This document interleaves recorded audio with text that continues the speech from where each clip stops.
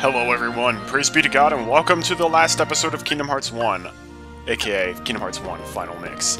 So, we only have one thing left to do in the game that I actually want to show off, and that is the last bonus boss. And Kingdom Hearts, as a series, tends to have the... basically tends to have a habit of making the bonus bosses, at least one bonus boss in each game, kind of lead into the future games. This boss is what it is for Kingdom Hearts 1, so we're flying back to Hollow Bastion in order to do this. Also, take a look at my gummy ship. it's my beauty. It's my baby. So this sure looks ominous. And I have absolutely no idea what to expect. I know, like, who the bonus boss is, but I have never fought the bonus boss before. So, I'm hoping I can beat it relatively quickly, but this might be a long video, which would be kind of bad if that was the case. Anyhow, we're going to the Castle Chapel, and basically what we want to do is go back to the room where we fought Dragon Maleficent, after we seal the keyhole here. So for starters, I'm going to make sure everybody has all the best stuff equipped. I like Sora's equipment, I like Donald's equipment, I like Goofy's equipment. We're not even bringing Beast to the battle. Sorry, Beast. We're going through the items, so here's the thing. I've got a bunch of Ethers, but this is the last thing I need to do in the game, so I'm going to stock uh, myself full of Mega Elixirs.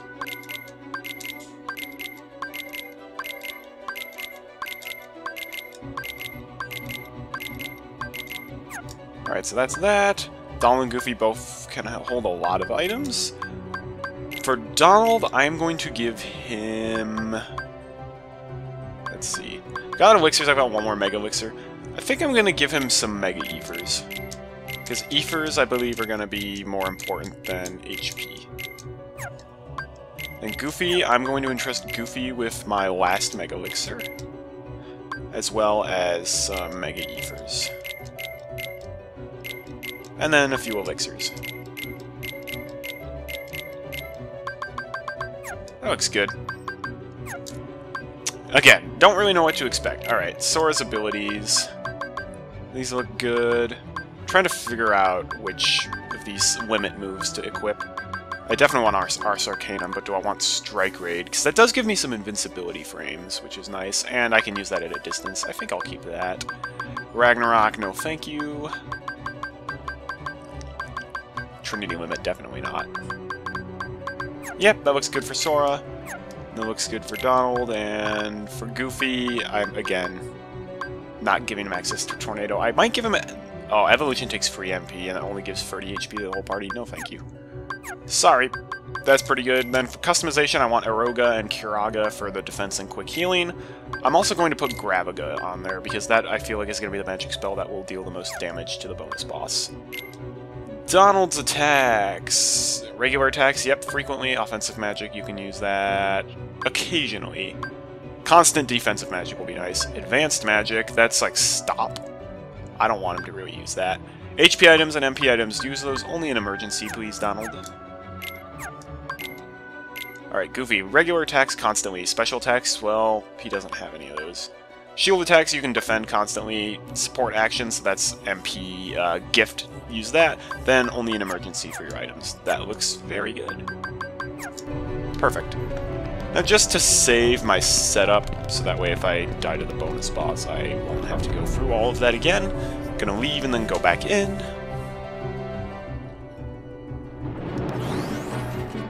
Okay, good. Donald didn't fire off a Thundaga before I could go back in. That's good.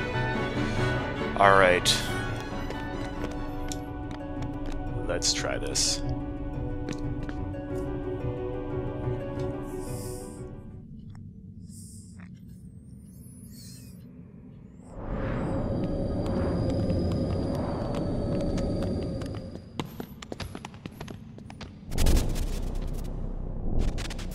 Oh hey, it's an Organization Thirteen member, is it?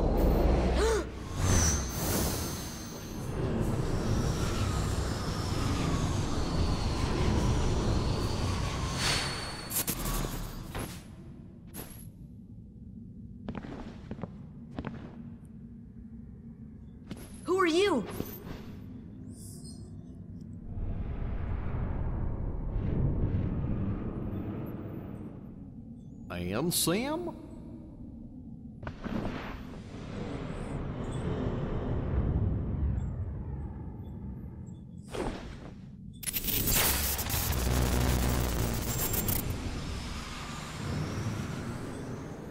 What's that supposed to mean?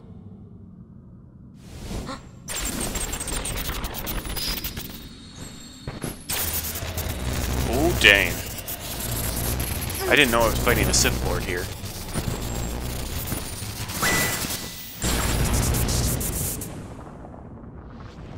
Oh, that's that's actually really cool what they did there. Special effects are very nice.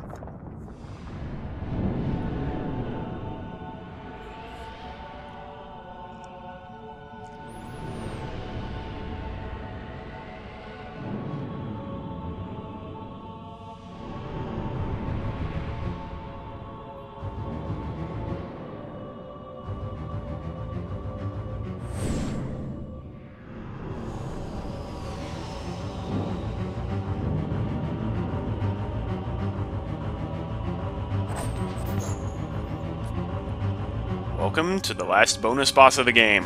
His official name is Unknown, also known as the Enigmatic Man. Oh, he literally is a Sith Lord. He's got lightsabers. and he can guard. Lovely. Alright, well he doesn't seem so bad. Just use some Aerogas. Or just one Aeroga to lower the damage. Oh, wow, this guy's not that bad at all. Oh, what's he doing now? Force Lightning and... Oh, dear. That was tough. So I had to, he blocked my commands and I had to get my way.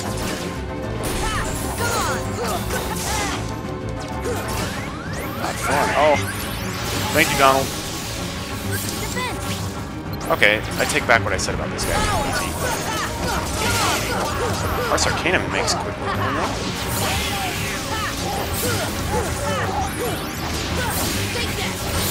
Okay, maybe I'm missing something, but this guy doesn't seem that hard. Alright, he's doing this again.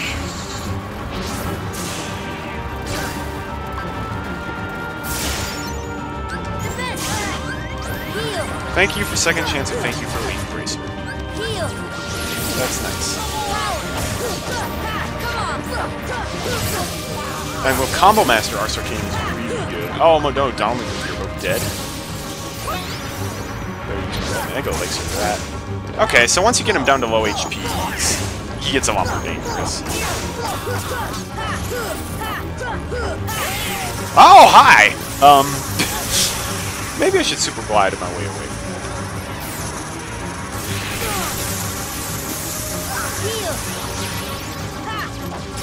And now he's shooting blasters Yeah, this guy's like summoned straight out of Star Wars. This is a character we will see in Kingdom Hearts 2. It's a nice lead in. Oh boy,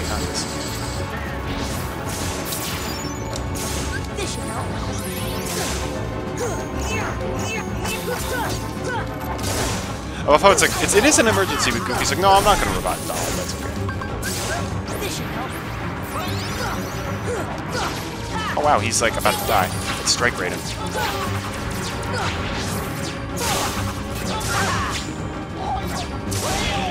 Okay, um, that guy was nowhere even remotely close to being as hard as people said. Okay, never mind. Unknown, you're a cinch. Once you can get past his command locking move, it's really simple. Wow, yeah, that guy that guy is not even as hard as like Sephiroth. Maybe it's because I'm max level. I did beat Sephiroth on my first try uh, for this playthrough. Uh? Look at that guy might be easier than he is in Kingdom Hearts 2. You talking about?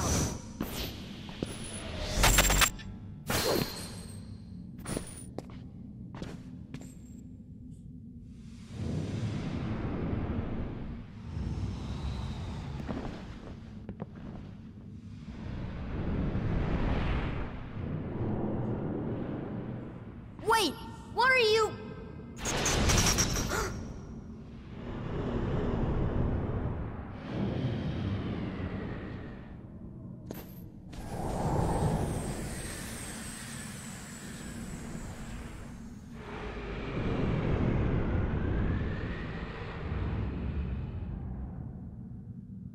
How cryptic.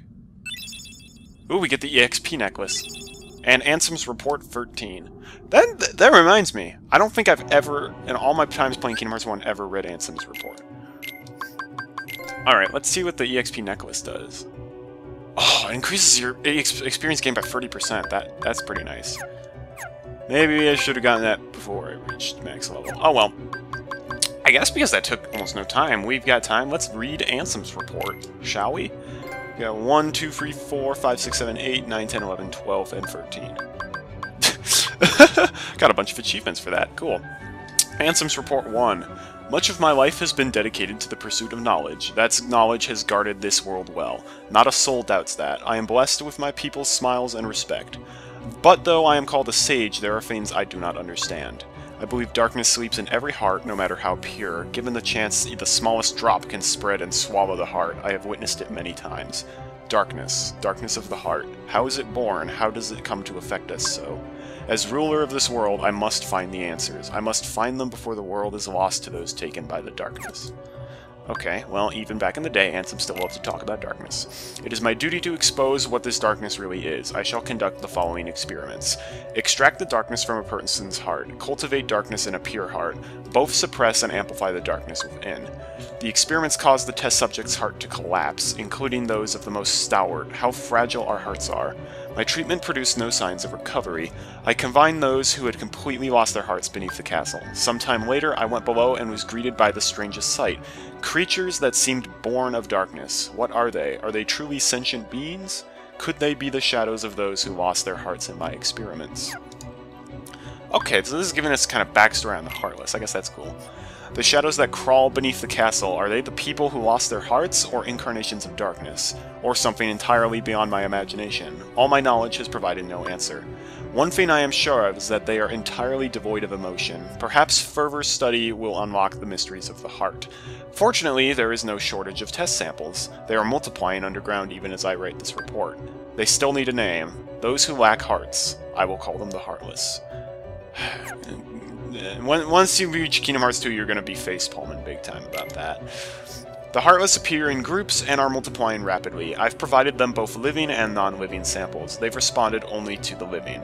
They seem to multiply after absorbing something from the living creatures. They, their prey vanishes without a trace. I believe the Heartless are taking hearts. They are born from those who've lost their hearts and thrive on hearts seized from others.